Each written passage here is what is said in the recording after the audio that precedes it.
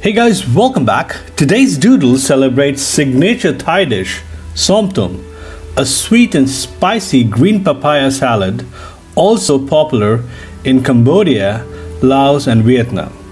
On this day in 2012, Thailand's Department of Cultural Promotion registered Somtum as a national intangible cultural heritage food.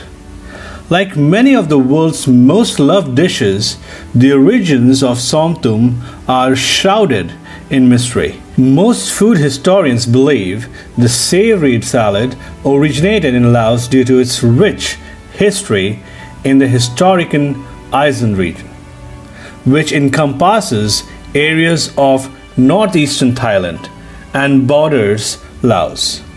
The classic Thai recipe calls for spicy Thai chilies, balanced by palm sugar, garlic, shrimp, fish sauce, peanuts, limes, cherry tomatoes, green beans, and green papaya. The term somtum is a combination of two Isan words translating to tart flavor and to pound, reflecting the first step in the salad's preparation, in which the mortar and the pestle is used to ground several of the ingredients into a tart salad dressing. The dressing is mixed with the remaining ingredients and topped with roasted peanuts for an added salty crunch.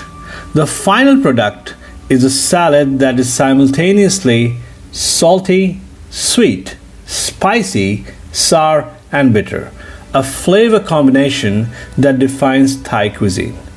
How the meal is prepared varies depending on the region, but most pair this popular Thai staple with sticky rice.